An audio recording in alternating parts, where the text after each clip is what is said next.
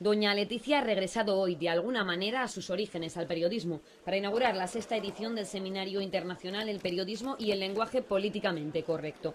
Junto a su cita, la princesa ha saludado a las autoridades y a los organizadores, la Fundeu BBVA y la Fundación San Millán.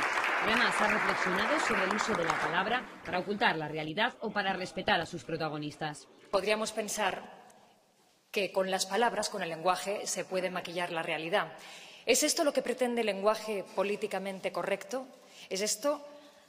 No lo sé. Supongo que habrá gente que diga que sí que lo es. Sin embargo, otros dirán que la amabilidad, que el cuidado de las palabras no están reñidos con el rigor que, al fin y al cabo, es lo primero en el ejercicio de la profesión periodística. El director de la Real Academia Española y presidente de la Fundeu se ha preguntado si usamos la palabra para designar lo que debería ser o lo que es en realidad y ha puesto varios ejemplos. Al escribir el vocativo inicial, he estado dudando. ¿Debería escribir damas y caballeros o tratar a don Pedro de ciudadano presidente?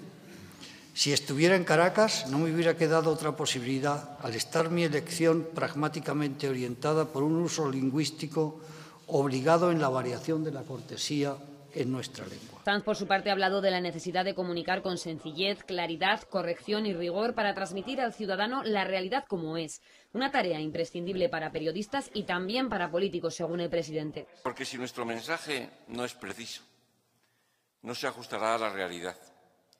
Si el uso o el abuso de eufemismos y conceptos bellos pero vacíos no nos ayudan a transmitir nuestras ideas, no estaremos siendo honestos. Al ciudadano, políticos y periodistas, debemos comunicar la realidad tal cual es, no de forma que la oculte o la encumbra en beneficio de determinados intereses.